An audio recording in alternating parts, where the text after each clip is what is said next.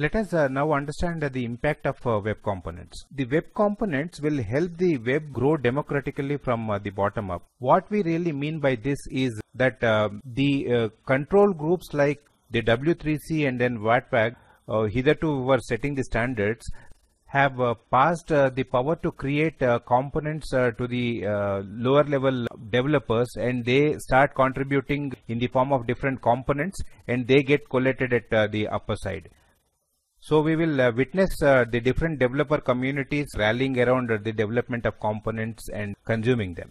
And all these uh, components are uh, distributed essentially by this GitHub and uh, therefore the number of stars that each component is getting and the number of downloads will be the measurement for the interest about a particular component. And the popular components will eventually make its way into the future HTML element as a native element.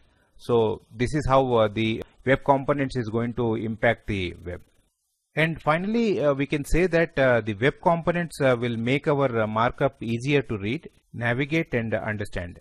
It will help uh, replace the generic tags like divs and spans with higher level and more descriptive markup that is easier to navigate and maintain. We will no longer have to start from the beginning on each of these uh, projects. Uh, we can easily leverage on the components that are created during the previous projects and uh, reach out to the community to leverage uh, the existing components as well.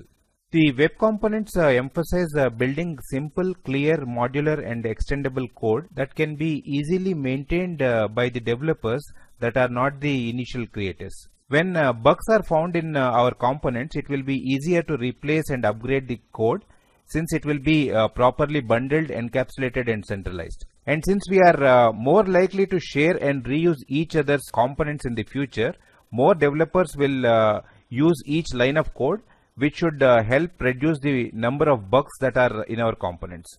And since HTML imports make it so easy to import a bundle of dependencies, we are uh, less likely to struggle with the integration uh, problems of our projects.